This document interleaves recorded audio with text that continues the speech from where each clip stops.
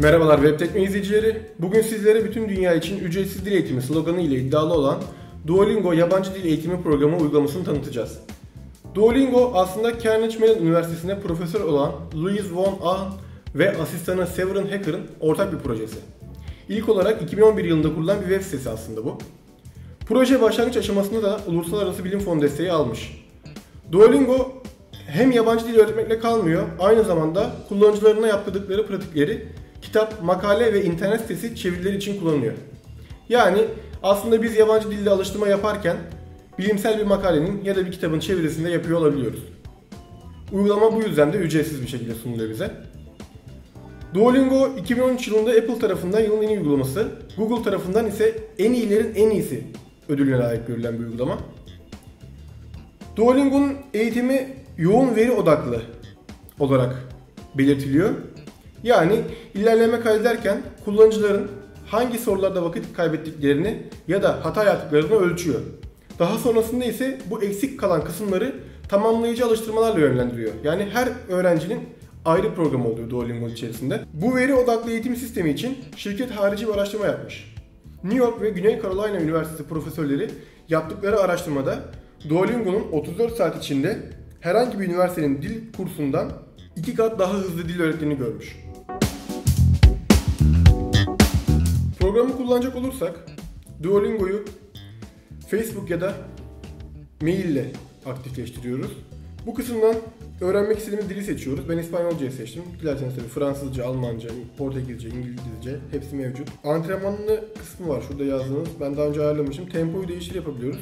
Bu da günlük çalışmamız gereken miktarı bize söylüyor. Hani günde 5 dakika, 10 dakika, 20 dakika, 30 dakika çalışmak istiyorsak buradan seçip yapabiliyoruz. İstersek bunu illa hani günlük 5 dakika değil de ayda bir bakmak istiyorum diyorsak da koçu kapat kısmından kapatabiliyoruz, deaktif edebiliyoruz. Haftalık puan durumu var. Bu ilerlediğimiz alışımlardan sonra bize verilen puanlarla belirlenen bir puan. Tabi bu seviyeler arttıkça puanlar da artıyor. Bu çizelge hangi gün başladı, kaç puan yaptık, ne kadar ilerledik onu gösterecek bize. Şu an tabi yeni olduğumuz için herhangi bir şey yok. Program ücretsiz demiştik. Şurada dükkan kısmı dikkatinizi çekebilir. Lingot dedikleri bir para birimi var kendi aralarında. Bu seviye ilerledikçe kazanılan bir şey. Yani herhangi bir parayla alakalı bir şey değil. Bunu satın alamıyorsunuz. Tecrübe ile kazanıyorsunuz yani öyle diyelim.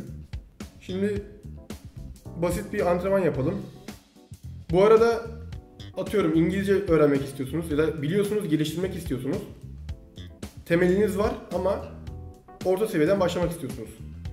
Şuradan sınavla geç kısmından kendi seviyenizi belirleyebilirsiniz.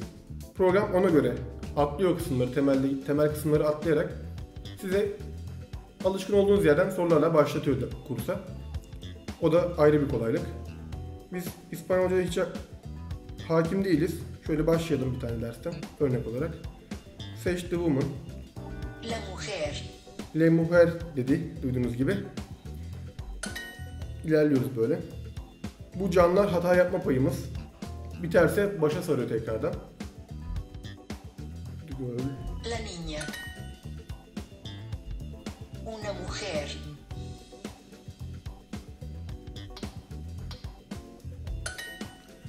Bu şekilde antrenmanlarla, günlük, haftalık antrenmanlarla dilimizi öğrenebiliyoruz.